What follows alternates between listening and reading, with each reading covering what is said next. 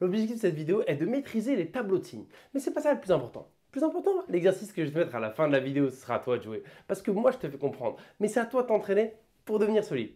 Plusieurs temps dans cette vidéo, on va essayer de comprendre en quoi en fait un tableau de signes finalement te donne une illustration de tes calculs. Et ensuite, on va faire bah, quelques inéquations où à la fin, il faut un tableau de signes. Premier exemple, donner le signe de 5x-3. En fait, 5x-3, comme sa valeur dépend de x, tu vois, si x vaut 0, vaut 10, vaut 1 tiers, eh ben, on ne peut pas donner son signe. Son signe dépend justement de x. Et c'est à nous de dire, eh ben voilà, quand x est sur tel intervalle, c'est positif, et quand x est sur tel intervalle, c'est négatif. Donc il faut démasquer son signe. Et en fait, comme il n'y a que deux possibilités pour le signe, soit c'est positif, soit c'est négatif, en fait, une des techniques, c'est de chercher quand est-ce que 5x moins 3 est positif. Je te rappelle, ça, plus grand que 0, ça veut dire positif. Et ça, c'est un, petit aspect, je trouve, sympathique. Comme il n'y a que soit plus, soit moins, imagine, tu arrives à savoir quand est-ce qu'il est plus. Et eh bien, le reste du temps, tu es moins, vu que tu as deux possibilités. Donc, nous, ce qu'on va faire, on va chercher quand est-ce que 5x-3 est positif. Et comme ça, on pourra mettre les plus et les moins dans le tableau. Donc, résolvons cette inéquation toute mignonne. Donc, on, laisse 5x à gauche et à droite, qu'est-ce qui se passe? 0 plus 3, ça fait 3. 3, il soustrait, donc à droite, il va additionner. 0 plus 3, ça fait 3. Moi, je veux x, donc j'envoie le 5 de l'autre côté. 5 multiplie, donc de l'autre côté, il va diviser. Attention, comme 5 est positif, le sens ne change pas. Mais il faut quand même se poser la question. Et en fait, ce qui est très important, c'est de regarder première et dernière ligne. Et se poser la bonne question. La question, c'est quand est-ce que 5x moins 3 est positif? C'est la question que j'ai posée. Quand est-ce que 5x moins 3 est positif? Réponse, quand x est plus grand que 3 cinquièmes. Ben voilà, on sait. Quand est-ce que c'est plus? Après 3 cinquièmes. Et donc, quand est-ce que c'est moins bah, Avant 3 cinquièmes. Tu vois.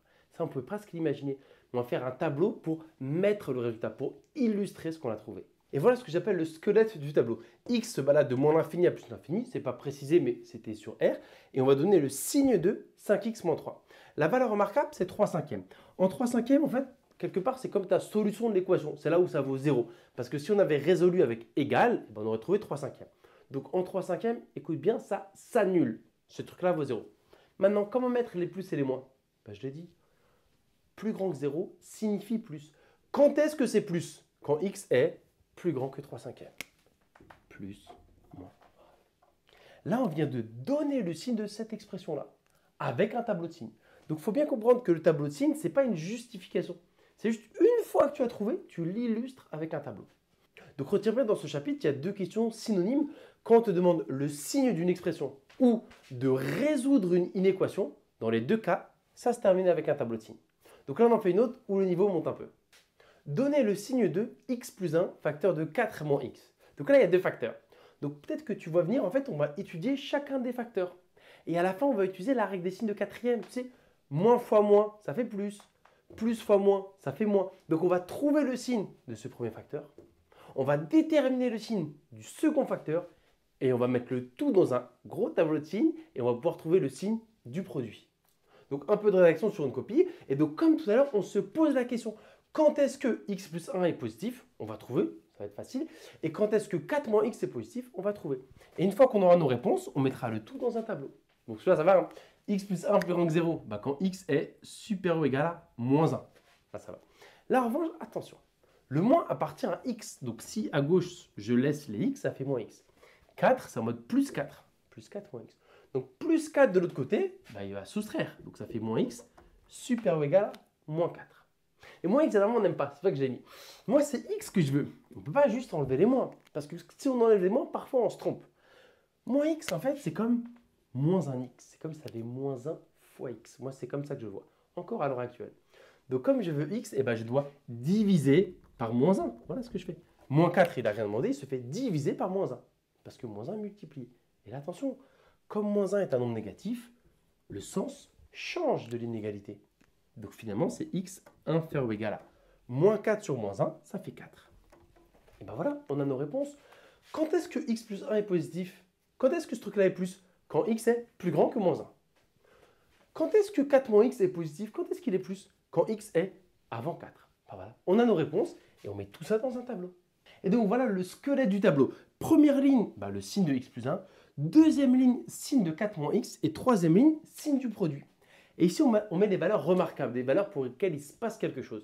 C'est souvent là où il y a le changement de signe. Donc il y a moins 1 et 4. Donc on les met dans l'ordre croissant. Bon, il se trouve c'est le même, moins 1 et 4. Ensuite, on tire des traits parce que en moins 1 et en 4, c'est des valeurs qui vont annuler en fait euh, nos facteurs. Vous voyez, parce que moins 1, c'est la valeur qui annule x plus 1. Donc en fait, x plus 1 vaut 0 en moins 1. Et 4 moins x, bah, ça vaut 0 en 4. Donc maintenant, le signe de x plus 1. Je répète la question à volonté parce qu'il faut vraiment que ça rentre. Quand est-ce que x plus 1 est positif? Réponse, quand x est plus grand que moins 1. Donc à droite de moins 1, je suis positif. Et donc fatalement, le reste du temps, bah, je suis négatif. C'est comme ça qu'il faut le voir. Quand est-ce que 4 moins x est positif? Quand est-ce que je mets les plus ici? Quand x est avant 4, plus petit que 4. Bah, je mets les plus avant le 4. Et donc le reste du temps, bah, c'est moins, vu qu'avec deux possibilités, plus ou moins. C'est que première et dernière ligne, c'est fondamental. Ok, c'est là où intervient la règle des signes de quatrième, parce que c'est un produit, tu multiplies. Moins fois plus, qu'est-ce que ça fait? Moins fois plus, bah, ça fait moins. Plus fois plus, ça fait plus. Plus fois moins, ça fait moins. Et on n'oublie pas, comme j'aime bien dire, d'abaisser les zéros. Parce que comme c'est une multiplication, si l'un des deux vaut 0, bah, le produit vaut 0. On a trouvé le signe de, du produit x plus 1 fois 4 moins x. Quand x est sur moins l'infini moins 1, bah, le tout est négatif. Quand x appartient à moins 1, 4, c'est positif. Et sur 4 plus l'infini, c'est négatif. Donc tu comprends bien que quand on te demande le signe ou de résoudre une inéquation, dans tous les cas, tu fais un tableau de signe parce que le signe est visible, on le voit. Donc j'espère que tu as compris comment en fait on construit un tableau de signes, comment même on comprend où mettre les plus et les moins. En tout cas, on vérifie tout de suite parce que maintenant ça va jouer. Je te mets quelques inéquations qui reprennent ce qu'on a fait et montre-moi que tu as compris. Je compte sur toi.